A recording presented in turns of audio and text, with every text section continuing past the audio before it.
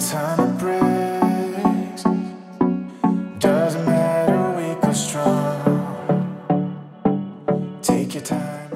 jetzt zum ersten und zum Ersterinnen und herzlich willkommen zurück zu einem weiteren Part von Planet Coaster. Zurück in unserem Freizeitpark The Legend. Schön, dass ihr wieder eingeschaltet habt, meine lieben Freunde. Ich habe heute einiges vor mit euch in dieser Folge und möchte ein wenig wieder an unserem schönen Freizeitpark weiterbauen. Doch bevor wir das Ganze machen, möchte ich erstmal ganz kurz auf eine kleine Sache eingehen. Nebenbei werde ich einfach mich hier so ein bisschen ähm, dran machen und werde hier ein bisschen weiter meine Dekorationsarbeit vornehmen. Ja, wir waren ja letztes Mal hier oben an dieser Burg dran und haben ja so ein bisschen schon mal ausdekoriert. Und da möchte ich gerne heute mit euch weitermachen, hier an diesem Berg und allem drum und dran. Und möchte währenddessen, oh, das war die falsche Auswahl, so, möchte währenddessen mit euch über ein bisschen was reden. Und zwar, meine lieben Freunde, Heute in diesem Video wird es keine Timelapse geben. Das hat aber auch einen ganz bestimmten Grund, dass es die nicht gibt und den möchte ich euch jetzt erstmal plausibel erklären. Denn der Grund ist einfach, mir fehlt die Zeit für eine Timelapse. Mir fehlt die Zeit, dass ich jetzt eine Timelapse für euch aufnehme in Planet Coaster, weil ich etwas anderes Großes am Vorbereiten bin für euch. Das werdet ihr dann am 27. Juni, wo der Release des Sommer-Updates von Planet Coaster ist, erfahren. Ja, da werdet ihr dann Bescheid bekommen oder werdet das Video sehen. Ich plane nämlich ein riesengroßes Special für euch. Und ich bin gespannt, wie ihr es finden werdet. Denn da fließt gerade aktuell sehr, sehr, sehr viel Herzblut rein, ja. Also das soll wirklich ein richtig, richtig geiles Special werden zum Release des Sommer-Updates von Planet Coaster, womit ja Feuerwerk und alles andere ins Spiel reinkommen. Und deswegen möchte ich euch einfach darum bitten, dass ihr mir verzeiht, dass jetzt bis nächste Woche, also bis zum 27. vielleicht keine Timelapse mehr in meinen Videos zu sehen sind. Ja, das sind jetzt noch ganze sechs Tage. Ich denke mal, das werdet ihr überleben. Ich versuche ja trotzdem qualitativ hochwertigen Content rauszuhauen. Aber das ist halt auch nicht immer ganz einfach, wenn man echt sehr, sehr viel um die Ohren hat. Und ich möchte direkt im gleichen Zuge auch nochmal etwas erwähnen. Und zwar am 29. Juni, also zwei Tage später, findet auf Twitch www.twitch.tv slash gtimetv ab 6 Uhr morgens ein Livestream statt, in dem ich mal einen Tag hinter meinen Kulissen streamen wollte, damit einfach mal so Leute, ja, Zuschauer, die sich dafür interessieren, was macht eigentlich der Kevin den ganzen Tag? Wie ist das, wie ist, wie ist das Leben von so jemandem, der so viel streamt, der so viel YouTube macht? Was hat der für einen, also wie lebt der eigentlich? Was macht der den ganzen Tag? Und da möchte ich einfach an diesem Tag im Livestream meine Videos aufnehmen, schneiden, rendern werden wir sie nicht und auch nicht hochladen. Ich nehme aber die Videos zum Beispiel für einen Tag schon im Voraus auf oder vielleicht sogar werden wir ein bisschen vorproduzieren, je nachdem wie die Zeit es zulässt. Und dann werde ich noch ein bisschen an Minecraft Legend weiterarbeiten, vielleicht zwischendurch auch ein bisschen einfach so Planet Coaster mit euch spielen und so. Also ich habe einiges geplant für diesen Livestream, dass ihr einfach mal so einen Tag hinter den Kulissen seht, wie das so abläuft, wie ich alles plane, vorbereite, wie ich meine Projekte manage und so ein Kram, ja, wie das alles so vonstatten geht. Und ich weiß, um 6 Uhr morgens müssen einige in die Schule oder zur Arbeit, aber es tut mir leid, da beginnt mein regulärer Arbeitstag. Den kann ich ja nicht einfach für euch verschieben, ne? Das heißt, für die Leute, die jetzt sagen, ah nee, 6 Uhr morgens, da kann ich nicht dabei sein, ihr könnt ja einfach später mit einsteigen und euch das mal angucken und dann fragen, ey Kevin, was hast du heute eigentlich alles schon in deinem Arbeitstag so erledigt? Ne? Und dann können euch das auch zur Not die Zuschauer, die die ganze Zeit dabei sind, schon erzählen und erklären. Und dann kriegt ihr einfach mal mit, wie viel Arbeit da eigentlich so reinfließt. Oder wie viel so ein YouTuber oder Streamer, der wirklich sehr, sehr viel Zeit in alles reinsteckt, was der so am Tag alles zu tun und zu machen hat. Ne? Man will ja nicht sagen, dass es ein anstrengender Beruf ist, so wie zum Beispiel Koch oder Bauarbeiter. Das sind wirklich körperlich anstrengende Berufe, das gebe ich selber zu. Ich meine, ich weiß es ja persönlich sogar am besten. Ich habe als Koch ein paar Jahre gearbeitet und weiß genau, wie es ist, in einer à la carte Küche zu arbeiten, wo wirklich Stress pur angesagt ist. Ne? Also da braucht mir keiner was erzählen, aber ähm, trotzdem ist YouTuber oder Streamer zu sein auch manchmal ein sehr stressiger Beruf. Einfach für, für den Kopf, weil man sich viele Dinge immer behalten muss und an vieles denken muss und so ein Kram. Und ähm, ja, das ist das Wichtige halt, dass man nichts vergisst oder so, dass man das alles relativ gut immer im Hinterkopf behält und diese Berge, ne, das sieht immer cooler aus. Also das gefällt mir richtig gut, wie wir hier so ein richtig schönes Muster reinbekommen. Jetzt müssen wir halt nur noch drüber brushen. Und dazu möchte ich euch, wie gesagt, ganz gerne einladen. Also wer Bock hat, kann da gerne einschalten. Am 29. Juni um 6 Uhr morgens soll es losgehen auf www.twitch.tv slash gtimetv. Ich würde mich auf jeden Fall freuen, wenn ihr zahlreich erscheint. Ja, Und dann werden wir da mal richtig loslegen. Da werden wir mal einen richtig geilen Livestream machen. Und ich freue mich vor allen Dingen auch auf die Arbeit an Legend, weil dann sind einfach mal viele Leute im Chat wahrscheinlich, die mir auch so ein bisschen Input und Ideen geben, die wir dann auch umsetzen können. Oder auch bei Planet Coaster, ne? Dann kriegt ihr mal mit, wie ich zum Beispiel so eine Timelapse in einem Livestream werde ich das bestimmt machen, dass ich die ein oder andere Timelapse für ein Video aufnehme. Und dann seht ihr einfach mal, wie viel Arbeit da drin steckt, ja? Wenn ich alleine nur eine Timelapse aufnehme, wo ich anfange auszudekorieren und so. Ne? Weil dann sitze ich auch da eine halbe Stunde, Stunde am PC und nehme einfach nur auf, wie ich am Bauen und Spielen bin. Und das ist trotzdem Zeit, die einfach dann im Tag fehlt. Ne? Und dann versteht ihr vielleicht auch beim nächsten Mal besser, wenn mal irgendwas in Verzug oder so kommt, einfach. Weil das echt manchmal, muss ich aber auch sagen, übernimmt man sich einfach. Dann nimmt man sich einfach zu viel für den Tag vor. Und da muss man einfach drauf aufpassen. Und ich trinke jetzt mal eben ganz kurz hier einen Schluck von meinem Trinken. Denn es ist sehr, sehr warm draußen. Leute, ganz kurzer Hinweis von mir trinkt wirklich ausreichend. Trinkt bei der Hitze wirklich ausreichend, das ist ganz wichtig. Immer genügend trinken, vor allen Dingen ganz wichtig, Wasser. Trinkt nicht die ganze süße Scheiße den ganzen Tag lang. Ja, ich weiß, Limo und sowas schmeckt richtig gut. Ich will euch auch nichts vorschreiben, aber wirklich trinkt ausreichend Wasser. Das ist ganz wichtig an solchen heißen Tagen. So, und dann tun wir jetzt erstmal hier richtig schön wieder ein bisschen hier die Hügel formen und so. Und wir kommen ja gut voran mit unserem Park. Also das läuft ja wirklich bestens hier. Also ich bin mega, mega hart zufrieden so kann es auf jeden Fall weitergehen. Also wenn wir so weiter an unserem Park arbeiten, dann sind wir echt auf dem besten Wege, dass wir hier echt ein richtig, richtig schickes Design kriegen. Ich meine, guckt euch mal den Berg an, oder? Der sieht doch wirklich, wirklich geil aus. Also die Leute, die da am Anfang Theater geschoben haben, die verstehe ich einfach nicht.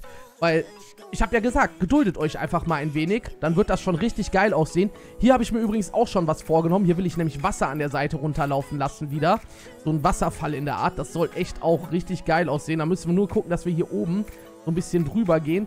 Und vielleicht sogar hier wie so eine Art Stütze rausbauen. Ja, genau. So wollte ich das machen. So quasi, dass der hier so drum geht, der Berg. Dass dann hier, genau, das so ist. Sehr schön. Und da müssen wir nämlich jetzt gucken, dass wir hier dann so ein bisschen. Das wird auf jeden Fall sehr, sehr viel Arbeit sein, bis ich dieses Ding hier irgendwann mal abgeschlossen habe. Also diesen Berg, diesen Fidget Spinner Berg, den ich hier angefangen habe. Weil ihr seht ja, das ist super, super viel Arbeit, hier alles richtig schön zu formen und zu machen und zu tun. Aber das kriegen wir schon hin, das ist kein Problem. Also da bin ich wirklich mehr als zuversichtlich, dass das hier richtig, richtig gut klappen wird am Ende. Das schaffen wir auf jeden Fall. Müssen wir nur gucken. Ich würde ganz gerne hier nochmal noch so eine Stelze machen. Die müssen wir halt nur... Oh, da müssen wir aufpassen. Hier ist ja noch eine Achterbahn, ne? Ja, da müssen wir hier sogar noch mal ein bisschen breiter machen, damit wir dann hier das Ganze noch mal ein bisschen dicken schöner geformt kriegen, ja. So, und dann gehen wir jetzt hier oben rum. Genau. Und dann müssen wir jetzt schauen, dass wir das hier irgendwie so ein bisschen rumherum formen. Genau. So. Zack. So, und dann gehen wir hier, genau, so dran. Und dann formen wir das. Das sieht jetzt echt ein bisschen eigenartig aus. Muss ich selber zugeben. Da bin ich ein bisschen zu weit vorne gewesen. Da müssen wir jetzt einfach, da können wir jetzt hier den quasi immer schön reindrücken, so, ne? Oh, ja, manchmal hat das zwischendurch irgendwie so Lex, das Spiel. Also ich hoffe, dass die Entwickler auf jeden Fall auch mal ein Patch rausbringen, wo sie ein bisschen noch was an der Performance vom Game machen. Weil die ist, sobald viele Besucher im Park sind, echt alles andere als prickeln, ne? Also da muss ich ehrlich mal sagen, hier, liebe Entwickler, bitte, bitte, macht mal, bitte. So, und dann müssen wir hier nochmal so ein bisschen drüber gehen. Ja, sehr schön. Sieht jetzt aus irgendwie wie so zwei Beine und ein Hintern, der hier rausguckt, ne? Irgendwie. Ich habe das Gefühl, das sieht noch sehr, sehr eigenartig aus. Aber das müssen wir einfach nur noch ein bisschen formen. Dann wird das besser. Das kriegen wir schon hin. Wir können ja hier unten das auch nochmal so ein bisschen verbinden. Ja, dann sieht das Ganze nämlich viel, viel cooler aus. Dann gehen wir hier hin, machen das hier nochmal so ein bisschen schicker. Sehr schön. Und dann können wir nämlich hier machen, dass dann hier vielleicht das Wasser so an den Seiten runterläuft. Und hier oben könnte ich sogar überlegen, ob ich hier nicht sogar einen kleinen See hinmache. Wobei, hier könnten wir auch so Löcher hinmachen, wo man dann durchschauen kann, ne? Ey, das, nee, gefällt mir nicht. Das gefällt mir auf gar keinen Fall. Nee, nee, nee, nee, nee, das machen wir nicht. So, dann müssen wir hier auch nochmal so ein bisschen umformen. Das ist halt echt super, super viel Arbeit. Ich wiederhole es immer wieder. Aber das ist das größte Problem an Planet Coaster. Das kann ich auch nochmal ansprechen. Die Leute wollen immer gerne sehen, wie ich eine geile Achterbahn und so baue. Aber das, was ich jetzt gerade mache, das wollen nur die wenigsten sehen. Ihr seht das an den Videos. Sobald in einem Video eine Achterbahn gebaut wird, hat das Video einfach 10.000, 20.000 Kli Klicks manchmal mehr, ne?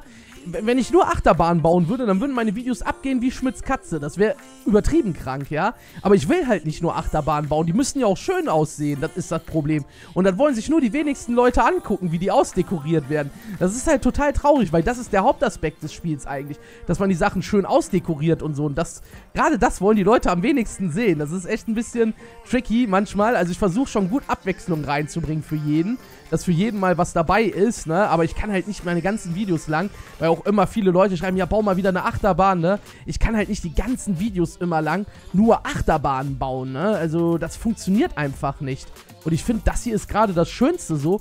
Ich finde das mega cool, einfach so zu verfolgen, wie sich so eine Achterbahn richtig geil entwickelt und wie die am Ende mega krass aussieht, ne? Je krasser eine Achterbahn aussieht, umso mehr Arbeit fließt da oder ist da reingeflossen halt, ne? Und ich meine, das sieht doch jetzt hier schon mega cool aus. Es haben sich auch einige gewünscht, dass ich mal mit dieser Holzachterbahn fahren soll. Das werden wir auch noch machen, keine Sorge, das wird auch noch kommen. Und jetzt können wir erstmal hier schön den Eingang und den Ausgang platzieren. Da müssen wir mal gucken. Ach, den Ausgang müssen wir auch hier machen. Ja, dann machen wir das ein bisschen anders. Dann werden wir hier den Eingang platzieren und hier auf der Seite kommt der Ausgang hin. Und dann machen wir hier so einen Eingang und da den Ausgang und ich werde hier schön eine Hütte bauen. Warte mal, kann ich den nicht sogar... Moment mal. Ne, den kann man nicht so da drum platzieren, ne? Das geht nicht. Ne, schade. Da müssen wir jetzt nur mal gucken. Wir müssen auf dem Stationsraster bauen, ja. Und da wollte ich jetzt mal gucken. Ähm, da geben wir mal jetzt Kalkstein ein. Da haben wir sie. So, sehr schön. Sehr, sehr schön. Da haben wir genau richtig getroffen. Das ist schon mal gut. Da können wir nämlich dann jetzt hier schön, ja genau, so und so machen. Und dann können wir hier richtig schön, nämlich dann da draus was bauen auch.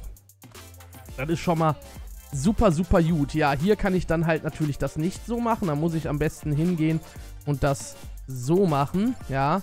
Genauso auch hier auf der Seite. Oh, ich glaube, da habe ich eins zu weit nach vorne gesetzt, ja. Da müssen wir ein Stück zurück. Nee, nochmal. So, Zack, genau. Und dann kommt der dahin.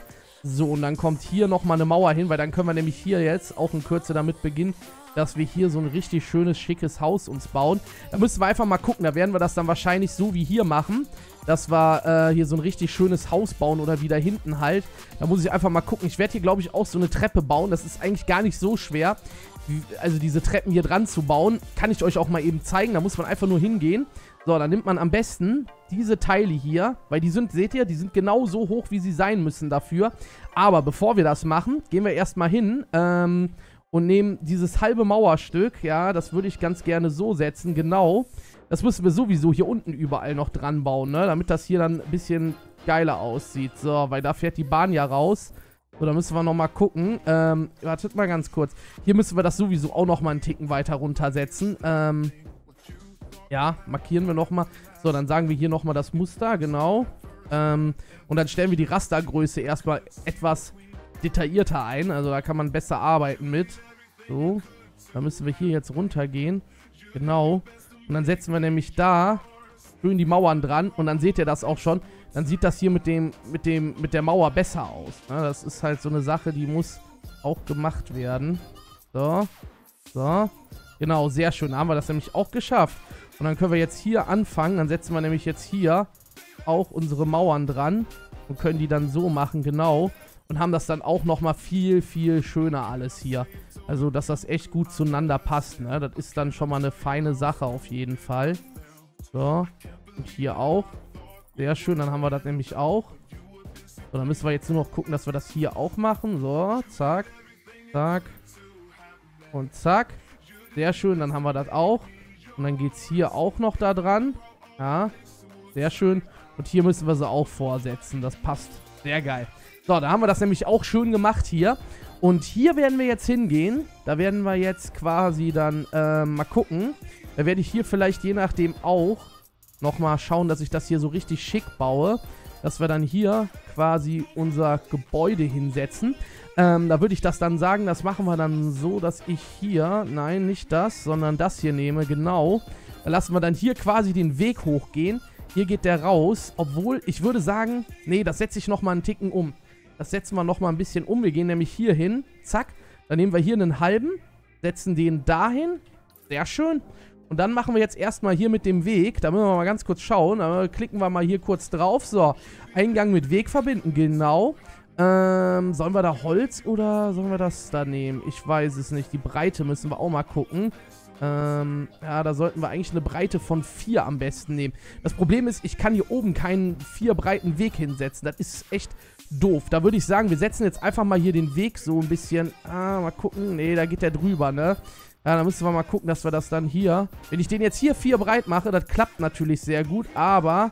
Ah, müssen wir mal gucken. Hier hier können wir perfekt zum Beispiel die Treppe runter machen, seht ihr? Das klappt richtig, richtig gut. Ich meine, gut, da drinnen sehen tut man es eh nicht. Das passt schon mal. So, dann machen wir den Weg so. Jetzt habt ihr das schon mal hier gesehen. Das sieht schon mal sehr, sehr geil aus. Aber ich habe eine Idee. Vielleicht, vielleicht klappt das, Leute. Müssen wir jetzt mal schauen, ob es gut aussieht am Ende. Das müssen wir jetzt einfach ausprobieren. Und zwar... Ey, das wird mega aussehen. Das ist richtig geil. Guckt euch das an. Das passt perfekt da dran fast, ja. Das können wir richtig gut da dran setzen. Dann machen wir das auch. Dann nehmen wir lieber dieses Mauerstück hier, setzen das da so dran. Zack, und dann kommt hier nochmal so das Stück dran. Genau. Dann kommt hier die Mauer so. Moment. So, zack.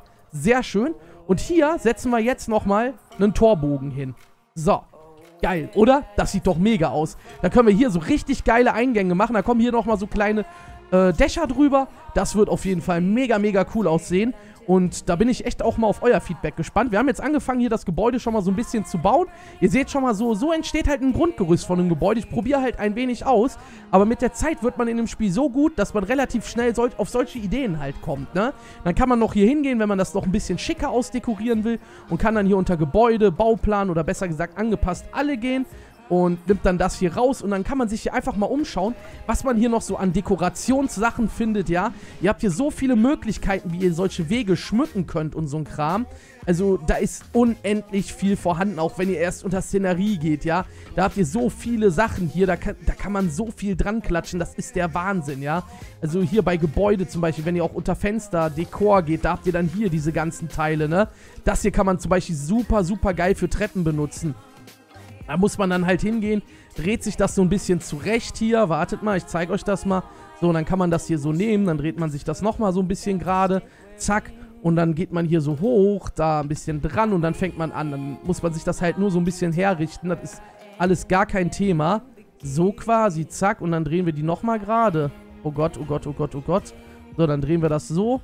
Ihr seht schon, ne, was ich meine halt. Dann kann man sich das hier immer weiter so ein bisschen ausrichten und dran machen. Und ihr seht, das sieht am Ende dann richtig geil aus. Dann habt ihr hier halt wie so einen wie so ein Muster halt, ne, was ihr dann noch einbringen könnt. Das wird jetzt bei dem Gebäude, glaube ich, nicht so geil aussehen. Da muss ich ehrlich sagen, da sagt mir mein Gefühl, mh, hm, nee, ich glaube, das ist nicht so schick, Kevin, wenn du das nimmst. Das kann man hier dann so da dran machen. Gefällt mir jetzt aber nicht so gut. Da müsste man halt schauen, ne, wie man das Muster am besten baut. Da eignet sich auch nicht der Bereich hierfür, weil hier müsste man weitergehen. Also am besten ist, wenn man mit den Sachen hier arbeitet, mit dem Marmor oder Kalkstein besser gesagt, dass man da schön mit Holz oder so noch einbringt. Werden wir alles noch machen. Ähm, ich würde sagen, das war's erstmal von der Folge heute. Da werden wir morgen dann hier an dem ganzen Kram weiterbauen und werden schön weiter ausdekorieren.